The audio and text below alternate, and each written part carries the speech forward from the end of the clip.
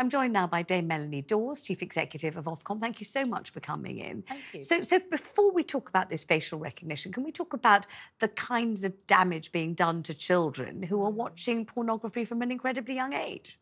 Absolutely. Look, we know from uh, our research and from the Children's Commissioner as well that the average age that children find pornography online is 13. Yes. One in 10, 10 uh, nine-year-olds are actually finding it. And we find that by the time they re- reach 18, uh, an awful lot of children have actually seen really violent and nasty porn as well. So this is something we've got to tackle. And that's why we're setting out proposals today uh, for the sort of measures that we think the companies need to put in. And let's imagine you have a nine year old who, for whatever reason or by whatever means, accesses porn that is pretty hardcore on a phone or on a device.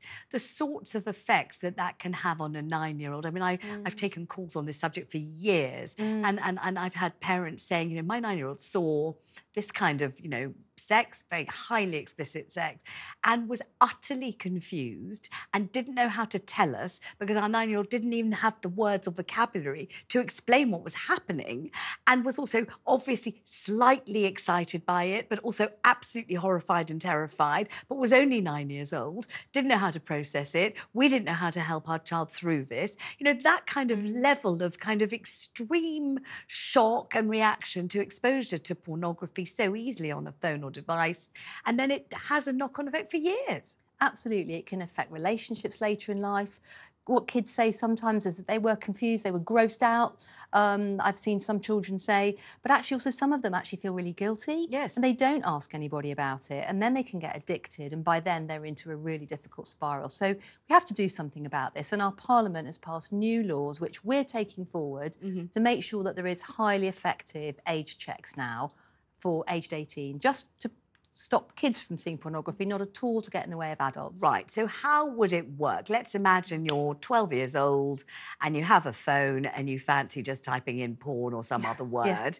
And you're 12, you're not supposed to be doing it, but there you are, no one's watching you and you're doing it. How will this stop you watching it? Mm. Well, what we're suggesting, and we're setting out a whole range of different possible solutions, there's not one size fits all here. But basically, what we're asking the porn companies to do is to put in some kind of system so that if you are an adult user, you can only get onto the site if you can have your age verified. Now, that can be through, for example, a banking app. Which can do yes or no, is this person over 18? And they can do that without sharing any data, which is really important.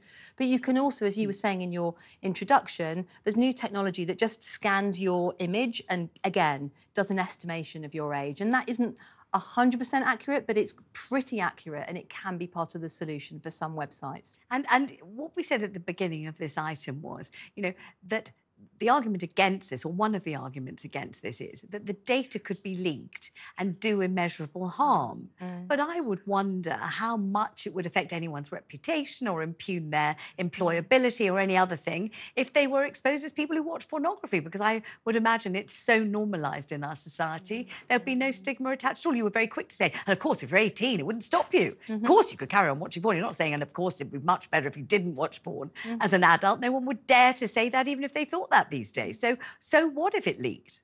Well, look, it's just incredibly important that the, the industry now needs to act and introduce these systems, but they must do so in a way that preserves privacy and doesn't share data that shouldn't be shared. And as I said, actually, increasingly, the good thing is the technology is getting better all the time. And it means that there are ways, increasingly, that you can actually find somewhere where your age has already been verified for your banking app or for one of these digital identity wallets, which is increasingly available. They know yes, no, are you over 18? And all they have to do is answer that question without saying who you are, your date of birth, where you live, anything like that. So those sorts of systems are there, but it must preserve privacy or else it's just not going to work. And I think lots of us are from the generation of the fake ID. And I mm. suppose people will be thinking, yeah, yeah, you know, any sort of savvy seven year old will be able to find their way around that within minutes. They'll be able to somehow take a mm. picture of their dad's ID or their mum's, or they'll be able to just fake it somehow or other. Mm-hmm. Will you be able to ring fence it and make sure that even the brightest child won't be able to, to run rings, rings around it? Well, look, I think you can never have any solution that's a silver bullet and is completely foolproof. There will be some young people, maybe with the help of their older siblings, who will find their way around this. That's always going to be the case. And of course, for parents, having those conversations with their kids can be a way to try to prevent that happening, although it is hard. Mm. Um, but what I think what you know what we're proposing will do is make it a lot harder. And we know that most children who come across porn online for the first time have stumbled across it by accident, and that won't be possible if the sort of systems that we're recommending are actually put in place. And are the porn comp- companies amenable so far? Are they taking you seriously? Well, this is the six million dollar question. Of course, yes. it's a big industry. It's the biggest internet industry there is, by the way. It's actually got the biggest revenue of all. They are investing in this. They're very professional, and I think they do know that the time has come when age verification just has to be something that is really, you know, part of the terms of doing business now for them, because I don't think anyone can say that where we are with young people and pornography is actually acceptable. Dame Melanie Dawes, really thank you. Great pleasure thank having you in the studio and very good to meet you.